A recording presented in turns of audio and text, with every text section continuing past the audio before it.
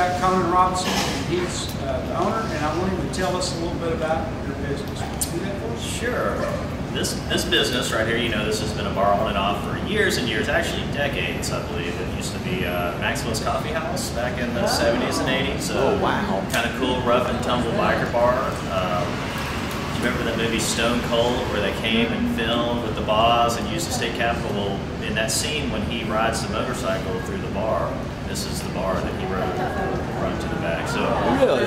Of history in this building. It's a really cool place. Uh, Margaret Henson, that owns Midtown, also owns this building as well. And uh, I was there 15 years, and she said, "Hey, how do you feel about starting your own place up?" And I said, "Let's do it." So she stuck me in this building, and I've started this wonderful bar.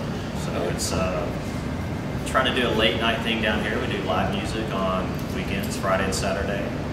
We're open uh, 3 to 2 a.m. every night.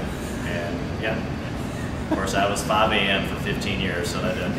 It's, Getting it's, off a, it's a early. reprieve for me at this point.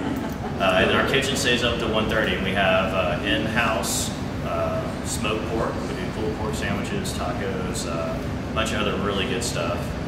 Uh, ever hungry late night? Come out and get some food.